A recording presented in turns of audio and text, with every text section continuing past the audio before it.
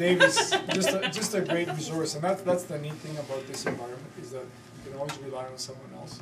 Like some of the things that I'm, I was able to do with animations on my physics course, I just went to Dave and I said, Dave, I want this to do this, this, this, and that, and he did it, right, you know, and. Yeah. uh, We have a lot of people who are didn't have to learn new experts in something, and Dave is an expert in Flash, among other things too. So when you bring a new teacher into the fold, do you sort of highlight maybe an area of technology that you would like that It teacher seems- to become a I don't know if it's ever been assigned on anybody, but it just seems that people who are interested in becoming a cyber school teacher um, just have areas Okay. that they are good at. Yep.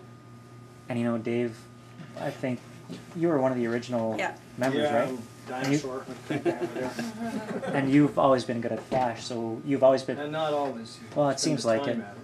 But uh, you're the go-to guy with that. Try to be. He is.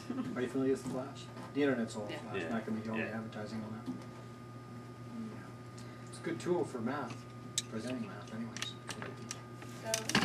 It's actually a good tool for a lot of things. It really comes down to creativity more than anything. Okay. But it does take a ton of time.